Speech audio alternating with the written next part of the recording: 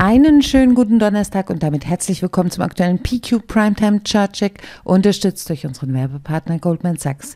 Welcher Wert heute an der Reihe ist, dürfte klar sein, denn gestern war es endlich soweit. Bei Wirecard kam Bewegung in die Aktie und das schauen wir uns jetzt direkt im Chart an. Ausbruch aus der Schiebezone zwischen 140 und 145 sowie über die 150er Schwelle geglückt und damit den ersten von zwei Bremsklötzen beiseite geräumt.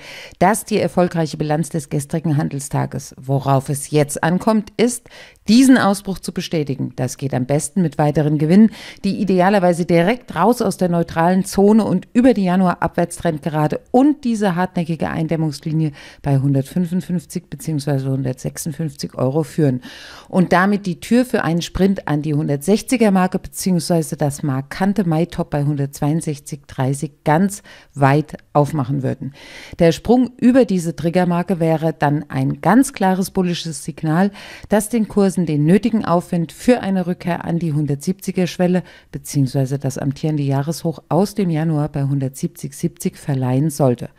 Und von dort aus, auch das ist nicht neu, aber immer wieder richtig, wäre der Weg dann frei bis in die Sphären um 180, 190 bzw. 199 Euro, wo ja vor einem Jahr das bisherige Allzeithoch aufgestellt wurde.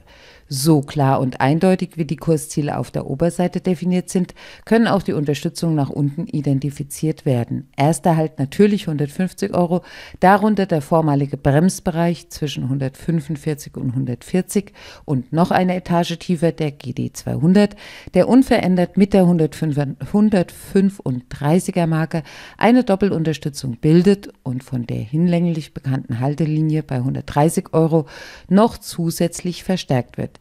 Die können wir uns auch als letztmöglichen Umkehrpunkt für ein trendbestätigendes Pullback vormerken, denn alles darunter wäre bearish zu werden und würde mindestens ein neues Video notwendig machen. Für heute bleiben wir jedoch klar bullish und sind damit auch erstmal durch. Einen schönen Tag für Sie und Daumen hoch für mich, wenn Ihnen das Video gefallen hat. Vielen Dank dafür und Servus. Bis morgen.